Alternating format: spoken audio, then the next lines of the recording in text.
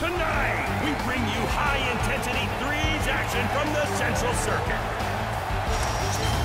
A team with no current fixed address, the Fridge Raiders, look to chill out the Texas Stars.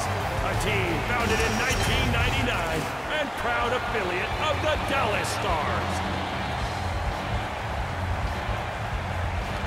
Go, fans. The ref has a money puck in his hand down there, so each goal will be worth between minus three and a whopping plus three. It's game on!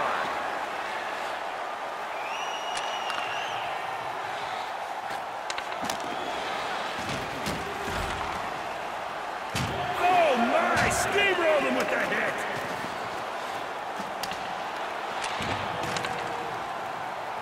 And no! He can't find the net!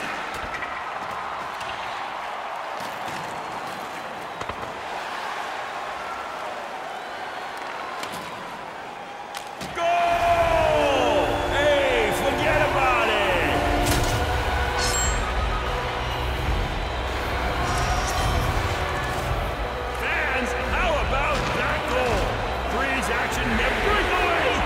Scores! An instant Hattie! Oh my!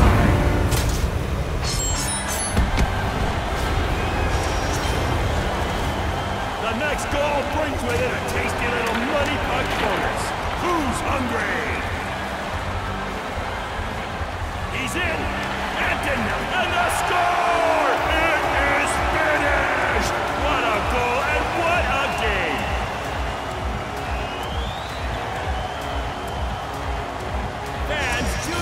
Arena is solid by picking up your own litter on your way out, you filthy animals. I know a few of you may have parents that work here, but the majority of you don't, so you really should clean up after yourself. Oh, okay! Good night, and remember, keep both those hands on your stick, folks.